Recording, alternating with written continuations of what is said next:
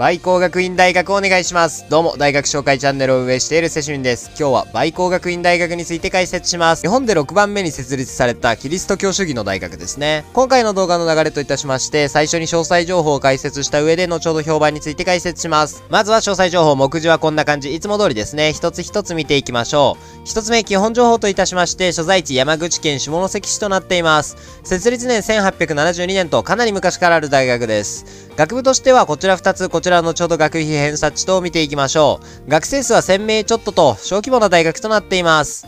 2つ目、学費について。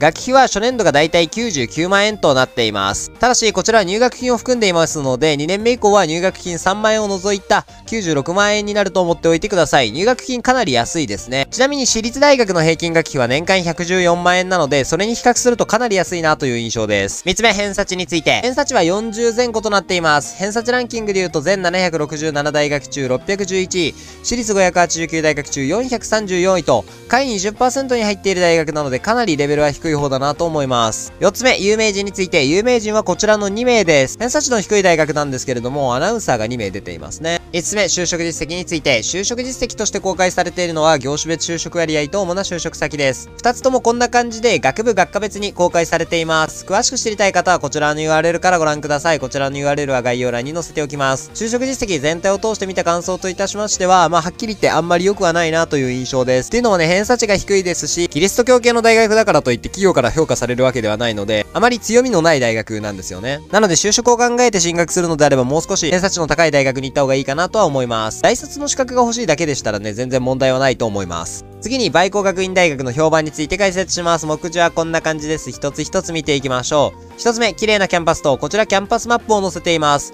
あのね、これに関しては間違いなく綺麗なキャンパスですし、おしゃれですし、僕はなんかすごくいいキャンパスだなって思ったんですけれども、それよりもね、いいなって思ったのがね、この公開方法ですよね。これがね、すごいわかりやすいですし、パッと見でどういうキャンパスなのかっていうのが見やすいので、情報の公開方法が非常に素晴らしい大学だなと思いました。二つ目、訴訟があったと、梅光学院大学、過去に教員らから訴えられるっていう訴訟があったんですけれども、大したことがない内容なので、別に気にする必要はないかなと思います。どういうことかって言いますと、倍工学院大学がフリーアドレス化、要は決まった席や部屋をなくすっていうのをやったんですよ。それに対して教員が研究に支障をきたしたとして訴訟したという内容です。大学の運営が細部が見えていなかったっていうだけの話なので、別に元に戻して終わりっていう内容です。三つ目、学食が美味しいと、倍工学院大学の学食ね、非常に好評です。まあ、こんな感じで非常におしゃれな学食となっておりまして、メニューについてもね、非常に美味しいと。そしてね、大学にしては珍しくアルコール飲料が売っているそうです。はい、この動画では倍工学院大学について解説しました。チャンネル登録、高評価、コメントの方よろしくお願いいたします。次回は福山市立大学について解説します。今回も最後までご視聴いただきありがとうございました。それでは失礼いたします。